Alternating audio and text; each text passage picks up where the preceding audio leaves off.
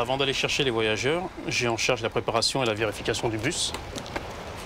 Le bus est équipé de différents systèmes de sécurité, comme euh, l'assistant de freinage d'urgence, le système anti-franchissement de ligne blanche, ainsi qu'une caméra d'anti-somnolence. Je dois toutes les 4h30 euh, marquer une pause de 45 minutes minimum ou être relevé par un autre chauffeur. Bonjour. Alors, votre numéro de siège, s'il vous plaît. Bienvenue à bord de ce Webus à destination de l'île Europe. Euh, merci d'attacher vos ceintures de sécurité.